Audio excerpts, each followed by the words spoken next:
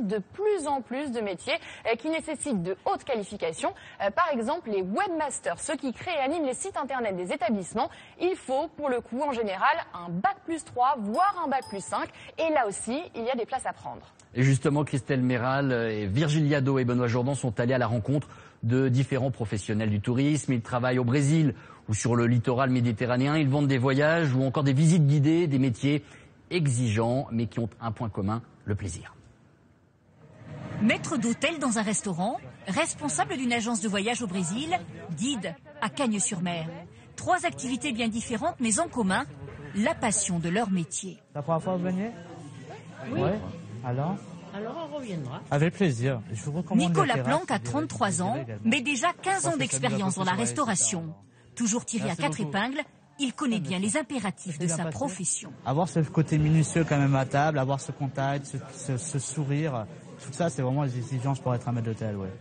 Agathe Guy, gérante d'une agence de voyage, réalise son rêve d'enfance en travaillant à l'étranger, avec en prime un pays qui fait rêver, le Brésil. Travailler une destination comme ça où les gens veulent venir, euh, euh, ils- quand ils nous parlent du Brésil, ils ont des étoiles dans les yeux. C'est vrai que c'est assez, euh, assez excitant à, à vendre en fait. Mesdames, faites attention, il y a une toute petite marche ici. Jean-Marie Nicolai fait lui découvrir les vieilles pierres de Cagnes-sur-Mer depuis plus de 12 ans.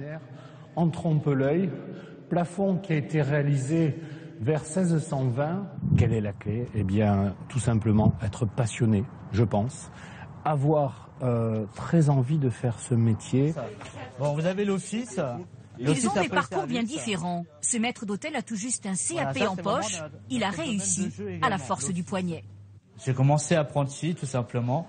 Et de- d'apprenti après, bah, vous faites vos grades. hein. Vous passez par commis, chef de rang, vous passez euh, par assistant maître d'hôtel. Après, vous euh, passez maître d'hôtel. Et ça, ça, c'est l'investissement, c'est euh, être intéressé, toujours en, en- en vouloir en apprendre plus. Agathe a un doc de tourisme, un bon bagage pour démarrer, mais ses débuts à l'étranger n'ont pas été faciles. Euh, Louisa, t'as vu euh, l'histoire de pour la valise? Il faut, il faut pouvoir s'im- s'im- s'imposer en fait dans des pays, que ce soit, que ce soit des pays africains ou des pays euh, d'Amérique latine. Euh, c'est vrai qu'on arrive, on est toute jeune, euh, on doit diriger un bureau, euh, il faut s'imposer en fait. Une fois qu'on est ici, eh bien, euh, ça vaut le coup d'être là. Alors vous avez Jean-Marie est devenu guide après une première vie professionnelle dans le secteur droite juridique. Une reconversion réussie, même si les contraintes sont importantes. remarquable qui s'étend depuis le Cap Ferrat. Il ne faut pas vous imaginer partir en vacances en même temps que les autres.